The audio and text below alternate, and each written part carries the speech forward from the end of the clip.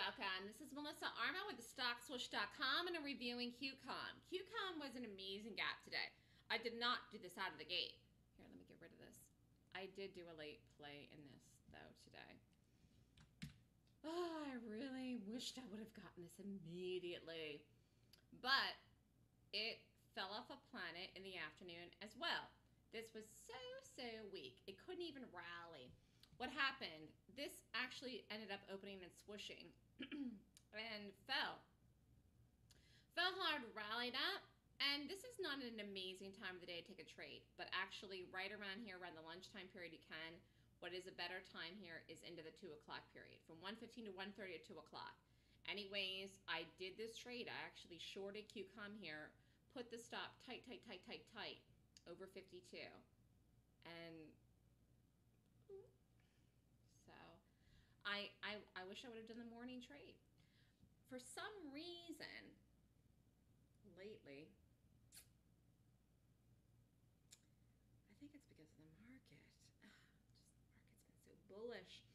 And the market is bullish, but I did do two things this morning anyways, but there were four watches. You could have done all four. Of the four watches, three worked, one didn't. Actually, you could have done you could have done three of them again. It's it's just really whether or not you really want to trade all day. I guess I guess that's what it comes down to. But this had a huge move late. You do not always get something like this to move this big this late. So anyways, the entry short in this was 51.71. Stop was over 52.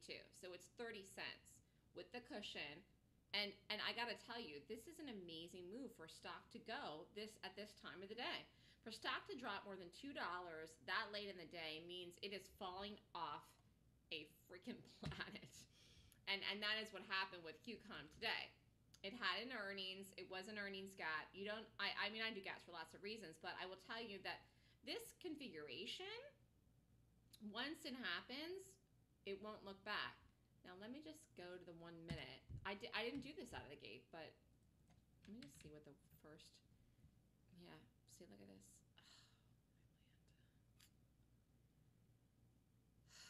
Oh, it's open and swooshed. High was 56.76. Low was 54.76. Amazing. Wish I would have done this right here. Look at that. but I did do it in the afternoon. So every once in a while, you get afternoon trades, and you could have done one in QCOM today and two of the other things. But the morning move is always the best. Always the best. Nice gap here in QCOM. This was the biggest mover of the day. Almost $7. That's that's phenomenal. In fact, let's just look at the daily chart here.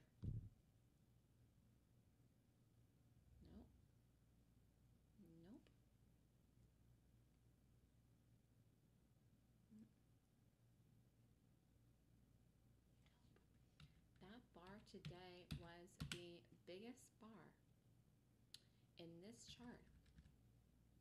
Look at that. Let me just see something here.